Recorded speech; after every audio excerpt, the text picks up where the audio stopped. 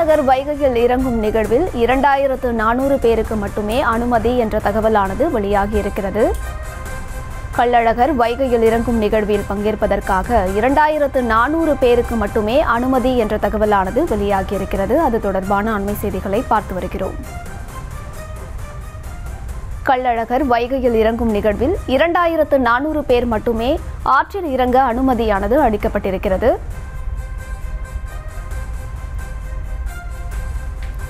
கள்ளழகர் வைகையில் இறங்கும் நிகழ்வில் பங்கேற்பதற்காக ஆற்றில் இறங்க இரண்டாயிரத்து நானூறு பேருக்கு மட்டுமே அனுமதியானது அளிக்கப்பட்டிருக்கிறது. கள்ளழகர் வைகையில் இறங்கும் நிகழ்வில் இரண்டாயிரத்து நானூறு பேர் மட்டுமே ஆற்றில் இறங்க அனுமதி அளிக்கப்பட்டிருக்கிறது.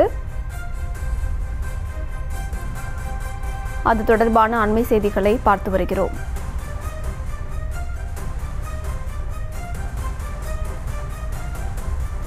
கள்ளழகர் வைகையில் இறங்கும் நிகழ்வில் இரண்டாயிரத்து நானூறு பேர் மட்டுமே ஆற்றில் இறங்க அனுமதி அளிக்கப்பட்டிருக்கிறது. கள்ளழகர் வைகையில் இறங்கும் நிகழ்வில் பங்கேற்பதற்காக இரண்டாயிரத்து நானூறு பேருக்கு மட்டுமே அனுமதியானது அளிக்கப்பட்டிருக்கிறது. இது தொடர்பான மேலும் விவரங்களை கொடுப்பதற்காக செய்தியாளர் நாகேந்திரன்.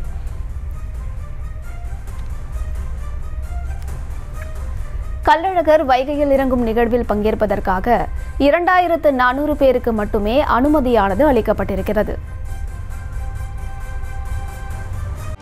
செய்திகளை உடனுக்குடனும் துல்லியமாகவும் தெரிந்து கொள்ள சப்ஸ்கிரைப் பண்ணுங்க.